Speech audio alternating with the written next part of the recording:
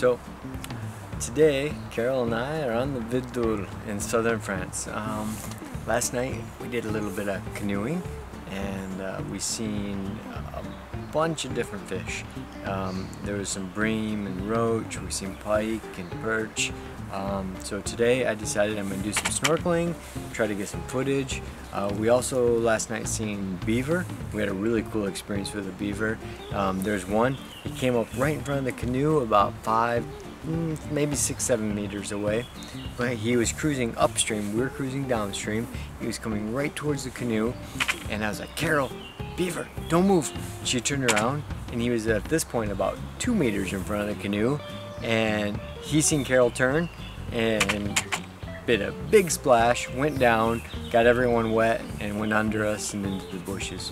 Anyways, we decided today we're gonna spend some time on the river. We have a picnic, do some snorkeling. Carole just is uh, doing some footage of a kingfisher down here, and we just watched, no footage, but just watched um, uh, adult kingfisher feeding a juvenile, um, just like four or five meters from where we're camped up and uh, having our picnic. So pretty cool. So now I'm gonna go get some footage, try to find some fish.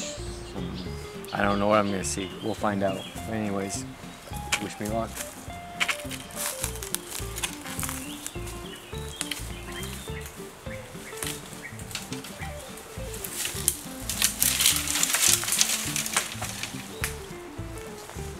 It is mucky.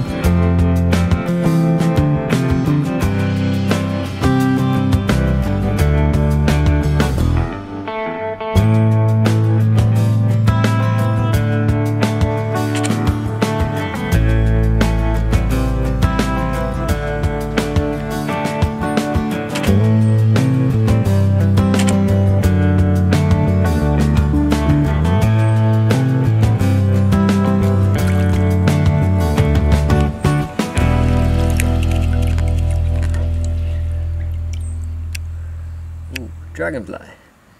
Um, so, spent about the last hour floating downstream, and uh, well, the water's a little murky, but got to see quite a bit. Um, seen uh, a lot of bream, uh, a few introduced pumpkin seeds, um, some chevelle fish.